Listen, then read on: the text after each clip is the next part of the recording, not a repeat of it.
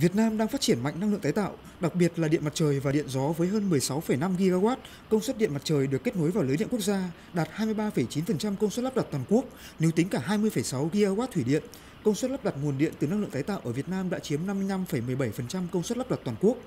Tại buổi làm việc với đại sứ đặc mệnh toàn quyền Vương quốc Liên hợp Anh và Bắc Ireland tại Việt Nam, ông Gareth Watt, Bộ trưởng Bộ Công thương Việt Nam Nguyễn Hồng Diên cho biết, Việt Nam hoan nghênh sáng kiến về chuyển dịch năng lượng do Vương quốc Anh khởi xướng nhằm hỗ trợ các quốc gia đang phát triển từng bước giảm dần sự phụ thuộc vào năng lượng hóa thạch, tăng dần tỷ trọng năng lượng tái tạo trong cơ cấu nguồn cung năng lượng quốc gia. Ông Gareth Watt cũng cho biết, dự báo trong 10 năm tới, ngành năng lượng Việt Nam cần tới 100 tỷ đô la Mỹ để đầu tư vào năng lượng nâu, than, dầu khí vân vân. Nếu chuyển sang năng lượng xanh, năng lượng tái tạo thì cần tới 130 tỷ đô la Mỹ. Do đó, hội nghị thượng đỉnh về biến đổi khí hậu COP26 dự kiến tổ chức vào tháng 7 năm 2021 tại Việt Nam với sự tham dự của 50 doanh nghiệp lớn đến từ Nhật Bản, Vương quốc Anh sẽ là cơ hội để ngành năng lượng Việt Nam xây dựng các chính sách, thực hiện các nhiệm vụ giải pháp để thúc đẩy quá trình chuyển đổi cơ cấu ngành năng lượng theo hướng phát huy nội lực, đồng thời tăng cường sự hợp tác, hỗ trợ từ từ các đối tác phát triển.